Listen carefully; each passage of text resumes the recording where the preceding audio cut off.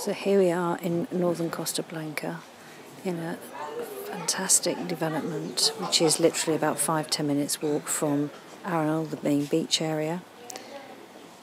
And here if you're working on a budget for a two bed apartment then this would be the development that you ought to seriously be considering. You can buy an apartment here for about 250,000 euros while they're still available.